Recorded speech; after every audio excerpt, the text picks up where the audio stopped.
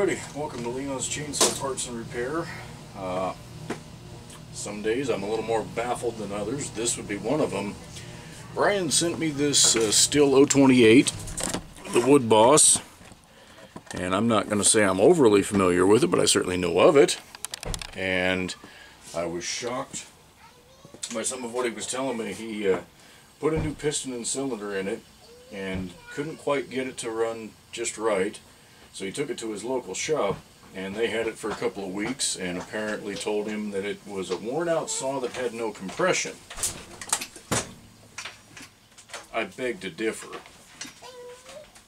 So that was just running for the better part of 10 minutes. I've got the idle turned as low as I possibly can and still have it run properly.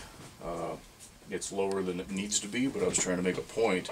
Low compression, it's not going to run at that low of an idle. Uh, and it certainly wouldn't have that acceleration. The carburetor was definitely a little out of tune. Uh, I found the high speed to be a little rich and the low speed to be a little lean.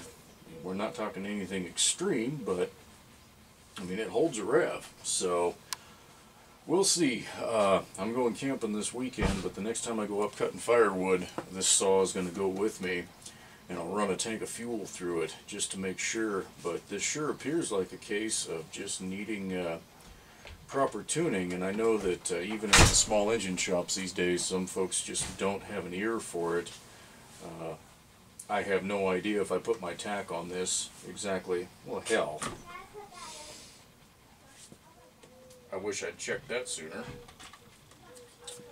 Not that it's been running inconsistently, but it generally helps to have the spark plug tight in the hole as well.